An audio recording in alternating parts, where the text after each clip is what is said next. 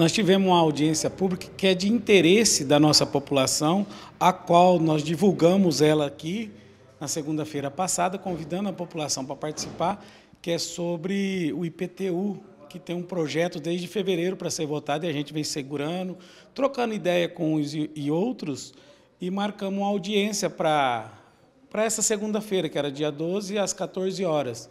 E, infelizmente, não apareceu ninguém.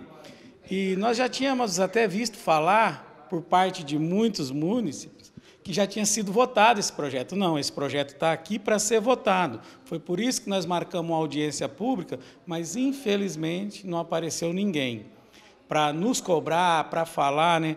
porque vai gerar uma polêmica, porque vai ter casos que vão aumentar o IPTU e vai ter casos que vão abaixar o IPTU, né?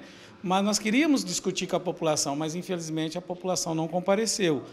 E aí fala que vota às escuras, que sem interesse da população, mas não, nós estamos aqui para votar no interesse da população, mas nós gostaríamos que a população participasse conosco também, para a gente ter uma dimensão da ideia da população, o que é, né, para eles participarem conosco. Vamos ver, não sei se vai ter mais alguma audiência, mas queríamos ouvir a população, num modo geral, né, Tiago? Muitas vezes nós somos cobrados da população e muitas vezes a população não sabe nem o que é a obrigação do vereador legislar, né? Nós não estamos aqui para executar, e sim para legislar e dar direção, às vezes com indicações, porque nós não temos forças de lei de fazer projeto. Mas como esse projeto está aqui, veio do Poder Executivo para a gente votar. Então, seria muito gratificante a população participar conosco, né? Porque, de repente, você vota um projeto desse aí e no outro dia você é taxado pelas ruas da cidade, né, Tiago? Até que com a presença da população aqui, seria evitado quaisquer tipo de dúvidas perante uma votação como essa. Sim, sim, até por causa que é o Antônio que fez o projeto, que elaborou o projeto, estava aqui para dar explicação. Qualquer dúvida, a população podia tirar com ele, como nós tiramos as nossas dúvidas, né? Mas infelizmente, às vezes as nossas dúvidas não é a dúvida da população.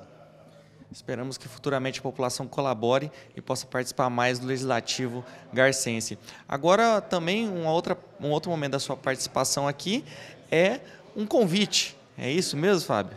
Sim, a gente quer convidar a população para participar conosco esse final de semana, é 16, 17 e 18 de setembro, na prova de laço que vai, no, vai estar acontecendo no CTG Tropeiros da Saudade da cidade de Alto Garças, o qual vai, vai vir aí, nós estamos esperando aí uns de 80 a 100 laçadores para poder competir na cidade. A gente gostaria que a nossa população fizesse presença lá para poder estar tá lá incentivando os laçadores autogarcenses, né, daqui dessa cidade, o qual a gente faz parte desse grupo de laçadores e sai laçando aí por todos os estados, levando o nome da nossa cidade. Queria até agradecer antecipadamente se a população aparecesse lá e fosse lá prestigiar, porque aqui nós temos uma cidade vizinha, Tiago, que você conhece a cidade do Itiquira, quando tem prova de laço na cidade do Itiquira, é difícil você andar lá de tanta gente. Você é prova disso, você já participou lá.